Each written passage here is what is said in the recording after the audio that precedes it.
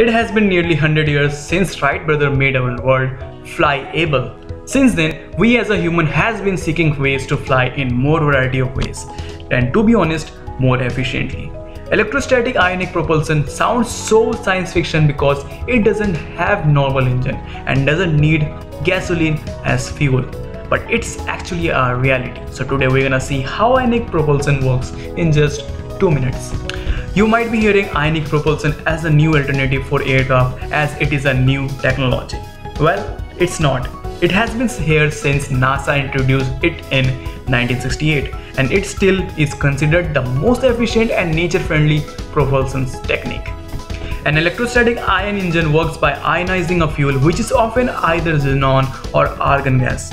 Ionizing means making the gas electrically charged by knocking off an electron to make a positive ion. After this, the positive ion diffuses into a region between two charged grids that contains an electrostatic field.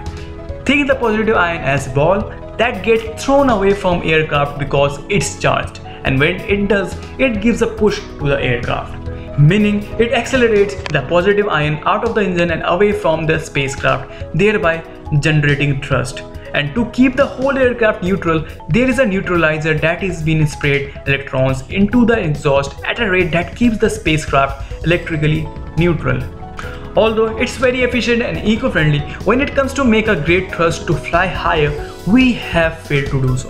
Not because it is not capable of doing it but we haven't been able to build a successful design for it meaning a design fault while there will be no doubt be more challenges to overcome as work proceeds in the further development of large-scale ion drives, I personally think we are not too far to see the first manned ionic propulsion aircraft. So until the next amazing video, keep hitting your.